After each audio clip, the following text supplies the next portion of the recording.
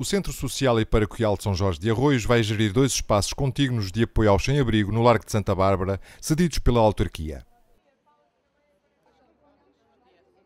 O Núcleo de Apoio Local é um espaço a partilhar por utentes e colaboradores institucionais, no qual as equipas de distribuição alimentar vão facultar as refeições, respeitando a dignidade dos utentes sem abrigo, correspondendo à concretização de um sonho de longa data.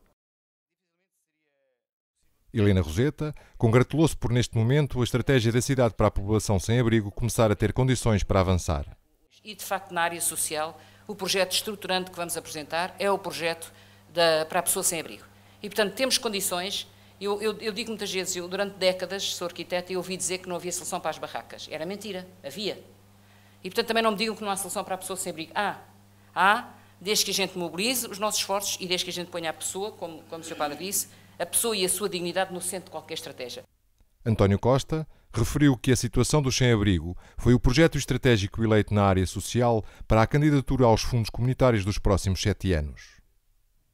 Hoje, felizmente, eh, a força e a energia do conjunto das associações já assegura alimentação a muitos das pessoas sem abrigo. Temos que dar um passo em frente, que damos aqui a dar, que é que essa alimentação seja consumida com dignidade e em condições. E que, portanto, para além da alimentação, haja um refeitório onde se possa fazer a refeição.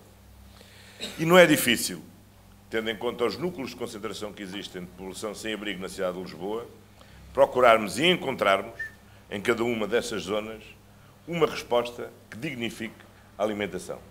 E esse é certamente o primeiro passo, ou um novo passo, importante para podermos estabelecer uma nova relação com esta população e ir dignificando a sua situação. Acho que o que conseguimos aqui hoje é algo que podemos conseguir em outras zonas da cidade e devemos empenhar-nos disso como uma prioridade.